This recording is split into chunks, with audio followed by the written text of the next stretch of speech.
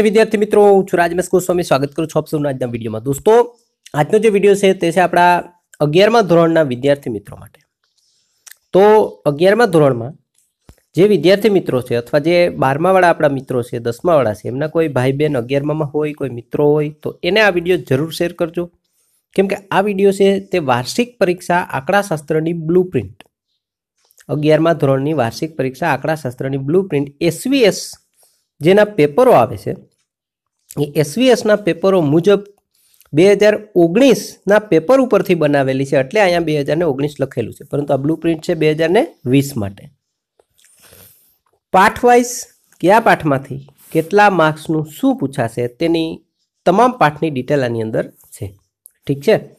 તમે જોઈ શકો છો ઉપર વિભાગ એ બી સી ડી ઈ અને એફ છે દરેક વિભાગના કેટલા માર્ક્સ છે તે પણ છે. એ વિભાગ એમસીક્યુ બી વિભાગ એક ગુણ સી વિભાગ બે ગુણ ડી વિભાગ ત્રણ ગુણ, વિભાગ ચાર ગુણ અને વિભાગ એકમાં પાંચ ગુણ છે. પહેલા પાઠમાંથી વિદ્યાર્થી મિત્રો તમે જોઈ શકો છો કે વિભાગ એમાં એક એમસીક્યુ પૂછાશે, એક એક એક વાક્યવાળો પૂછાશે, એક બે માર્ક્સનો દાખલો, એમાંથી કોઈ મોટો દાખલો પૂછાવાનો નથી. એટલે ચાર માર્ક્સ છે. વાર્ષિક પરીક્ષાનું પાછું અલગ હોય, બીજીનું અલગ હોય, બધાનું અલગ હોય. બીજા પાઠમાંથી વિદ્યાર્થી મિત્રો એક એમસીક્યુ પૂછાશે, એક વન લાઇનર ક્વેશ્ચન પૂછાશે. વિભાગ સીની અંદર અથવામાં બે ગુણનો એક દાખલો આવશે, જેમાં અથવા હશે વિભાગના દાખલાની જગ્યાએ થિયરી પણ હોઈ શકે પ્રશ્ન. વિભાગ ડીમાં ત્રણ ગુણનો દાખલો આવશે, વિભાગ ઈમાં ચાર ગુણનો દાખલો આવશે, તો અગિયાર માર્ક્સનું ચેપ્ટર છે.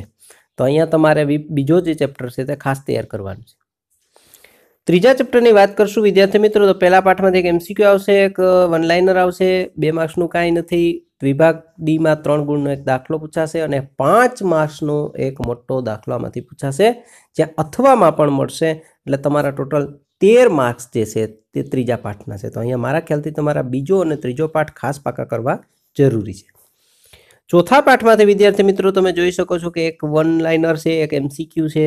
વિભાગ સી, બે માર્ક્સમાં કાંઈ નથી, પણ ત્રણ માર્ક્સમાં પૂછાશે અથવામાં. એક પૂછાશે અને બીજો અથવામાં પૂછાશે ત્યાં. અને એક ચાર ગુણનો દાખલો પૂછાશે. તો અહીંયા તમારા માટે થોડું કન્ફ્યુઝન હશે કે બાર માર્ક્સ કેવી રીતે થાય, તો હું તમને સમજાવું કે ત્રણ ગુણના બે દાખલા પૂછાશે. એટલે છ ચાર માર્ક્સનો એક એટલે છ ને ચાર દસ અને એક વન લાઇનર એક એમસીક્યુ બાર. આવી રીતે. મતલબ કાંઈ ત્રણ ગુણના દાખલા વધારે પાકા કરવા જરૂરી છે ચોથા ચેપ્ટરમાંથી ને પણ બાર માર્ક્સના તો વિદ્યાર્થી મિત્રો, તમારું અગિયારમા ધોરણનું સ્ટ્રક્ચર એ ટાઈપનું છે કે બીજું ત્રીજું ચોથું ચેપ્ટરને સૌથી વધુ પ્રાધાન્ય આપવાનું છે તમારે, જેથી પૂરા માર્ક્સ સિક્યુર થાય.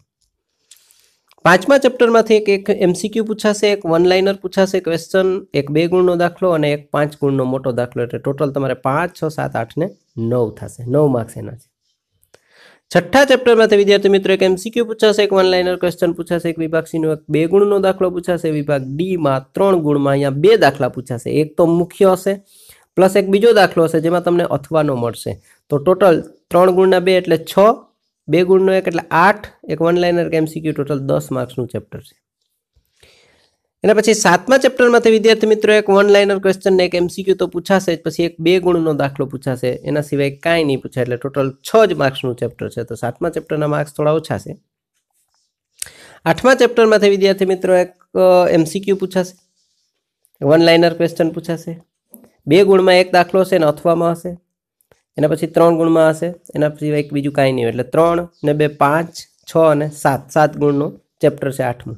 હવે દોસ્તો એના પછી નવમા ચેપ્ટર જોતા પહેલાં તમને કહી દઉં કે આ જે બ્લુ પ્રિન્ટો છે, એમાં થોડો ઘણા અંશે ફેરફાર કરી શકતા હોય છે લોકો.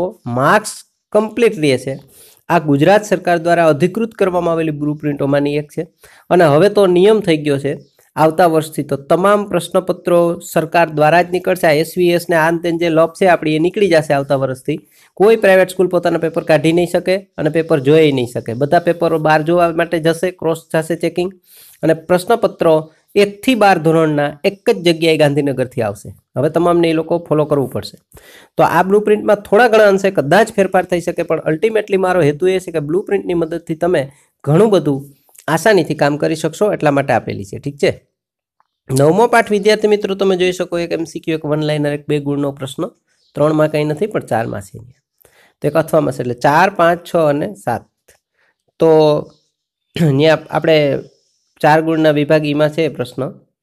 તો ત્યાં ચાર, પાંચ, છ અને સાત. તો વિદ્યાર્થી મિત્રો આઠ ગુણ થતા એક સેકન્ડ મારી ભૂલ છે. બે ગુણનો એક પ્રશ્ન છે, એટલે ચાર ને બે છ ને બે, આઠ ગુણ થઈ જાય છે. ઠીક છે?